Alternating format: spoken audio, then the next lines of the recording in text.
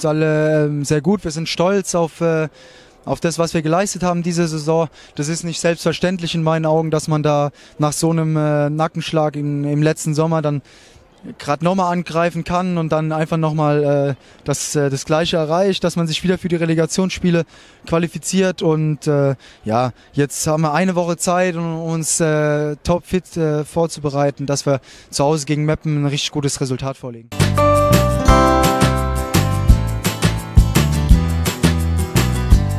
Denke ich denk schon, ja. Also wir hatten, wir hatten auf jeden Fall die Kontrolle im Spiel. Natürlich waren da ein, zwei äh, Sachen, die wir, die wir, die wir noch analysieren müssen, äh, wo es dann, äh, wo die Abstände, die Räume nicht so ganz gepasst haben wo, wo dann Trier auch zu gute, guten Gelegenheiten kam, auch in der, in der ersten Halbzeit, wenn ich da sehe, äh, da kann er noch quer spielen, wenn er will, da kann auch relativ frei dann zum Schuss kommen.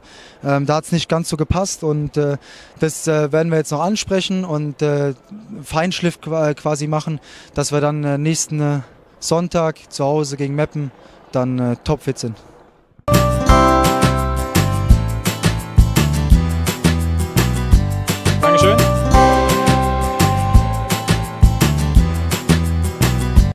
Für mich ist jetzt das erste Mal, muss ich sagen. Ich habe es letztes Jahr nur verfolgt.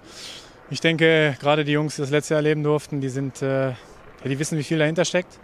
Das ist, denke ich mal, eine riesen Hausnummer, das geschafft zu haben. Zweimal hintereinander. Jetzt bist du zwar kein Meister geworden, aber wenn am Ende ein hochkommt, ist das scheißegal. Letztes Jahr bist du Meister geworden, hast nicht geschafft. Deswegen äh, sind wir soweit zufrieden. Wir werden jetzt hart arbeiten diese Woche. Äh, wir werden analysieren und wir werden dann mit breiter Brust äh, in die Relegation spielen.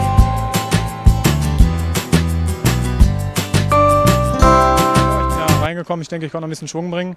Wir gewinnen 1-0, das steht äh, unterm Strich und das ist das Wichtigste. Wir haben zu 0 gespielt, drei Punkte. Ich denke, damit können wir absolut leben und darauf werden wir aufbauen.